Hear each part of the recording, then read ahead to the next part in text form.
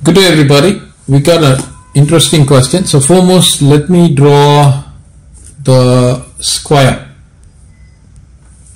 So we have a square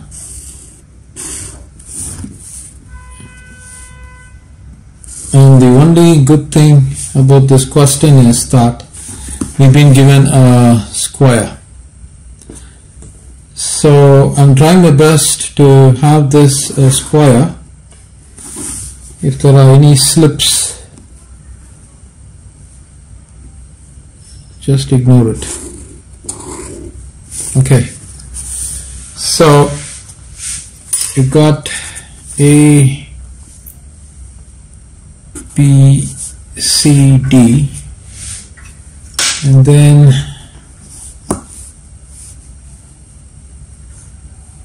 you've been given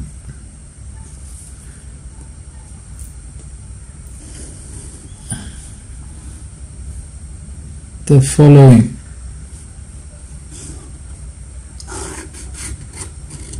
Okay. So this is the diagonal and the sides of the square is given to be as a units. Right? So this is going to be a this is going to be a. Obviously this is a this is a now each of this angle is 90 degree. 90 90 90 and exactly at D we got the diagonal. So let me draw the diagonal. And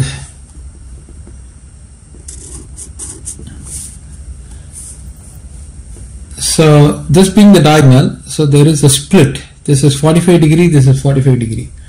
Now according to the figure there is an angle bisector so the 45 degree is actually divided by means of a bisector and that bisector is hitting the point over here.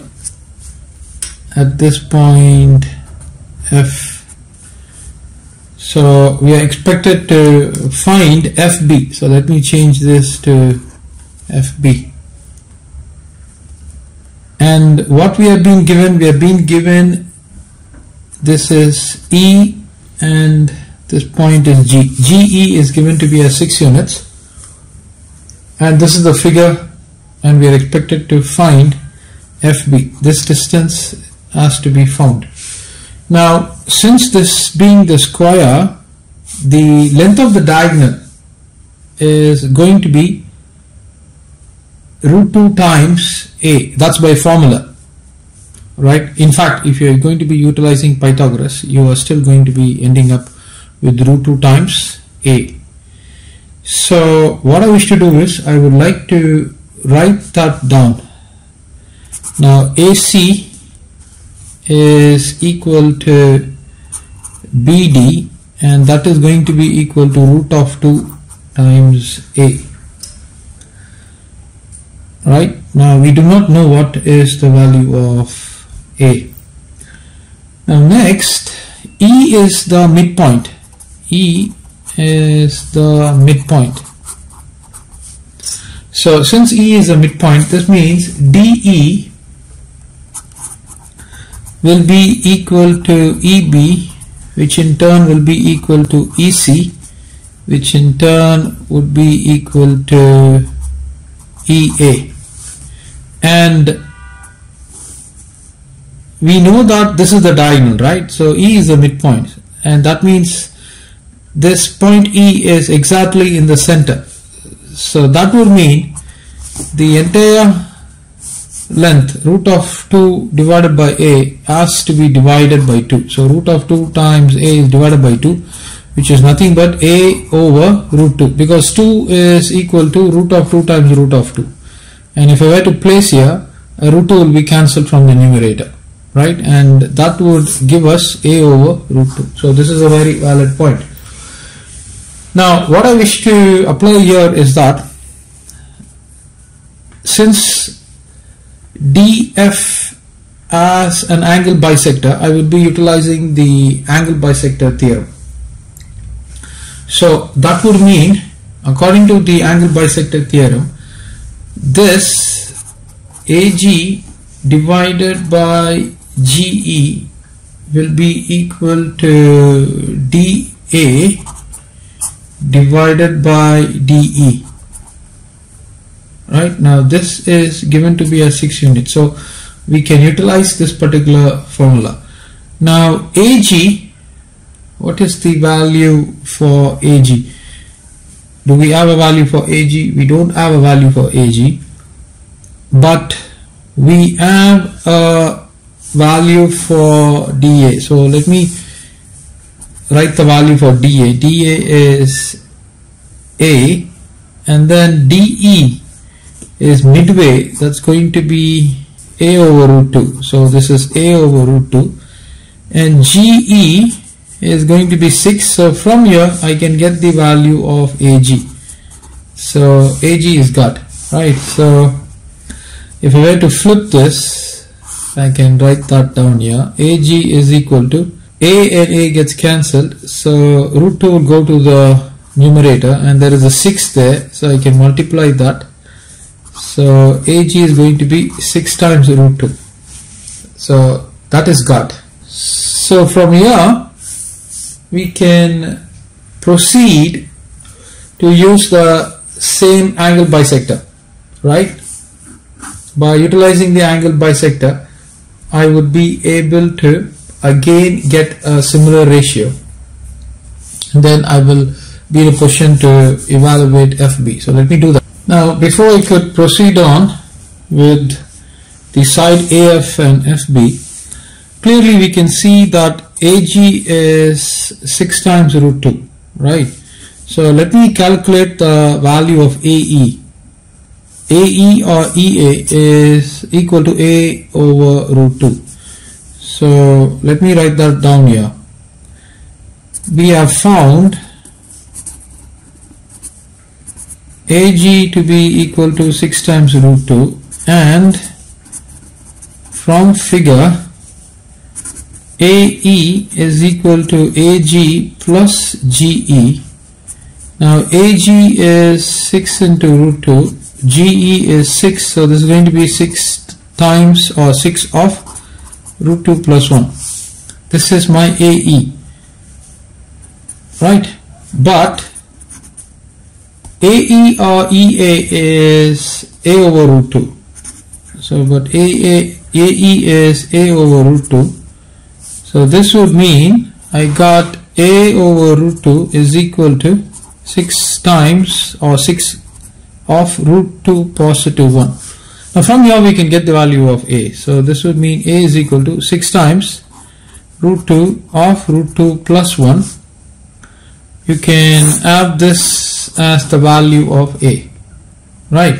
So now what I wish to do is I would like to apply the angle bisector theorem for D A B with DF being the angle bisector.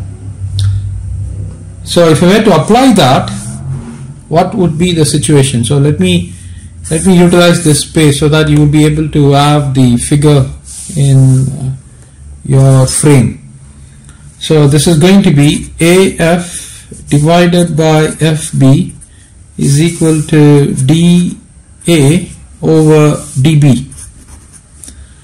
Now this is the diagonal and that value is given to be as a times root 2 right that because this is a this is this entire length is going to be a. So this diagonal is going to be a times root 2 so I, am going to write that down. Since db is a diagonal this means uh, okay since db is a diagonal this means db is equal to root 2 times a or you can write it as a times root 2 and if I were to take this as sum 2 so this would mean I can state like this 2 means AF do I know the value of AF I have to find the value of AF and let me just write that AF for the time being. AF is written down divided by FB I need to find FB now this is equal to dA what is my value of dA now dA is A units and dB is A into root 2 so this would mean you got AF over FB is equal to 1 over root 2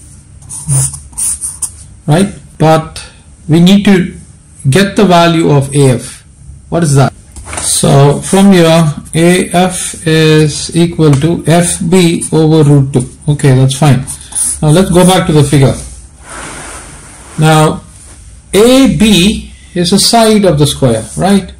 So clearly I can write AB to be equal to AF plus FB do you agree?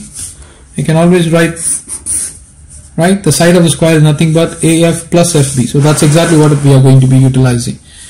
Okay so I'm going to state it here. Since AB is equal to AF plus FB and AB is equal to A, A is the side of the square and AF is nothing but FB divided by root 2 positive FB but A has been found. What's the value of A?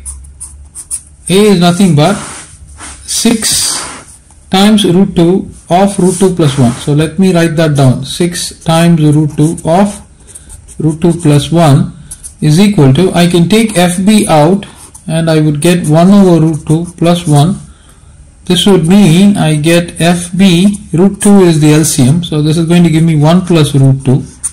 On the left I get 6 times root 2 times root 2 plus 1. So root 2 plus 1 and 1 plus root 2 can be cancelled. I need to get FB.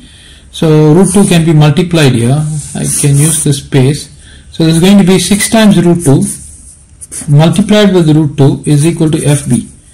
So therefore FB is equal to root 2 times root 2 is going to be 2 multiplied with 6 which is equal to 12 units. So FB is 12 units and this is exactly what is required. So this is 12 units and this is what is required. And that is the end of this particular question. I hope you all enjoyed this question. Until we meet again good night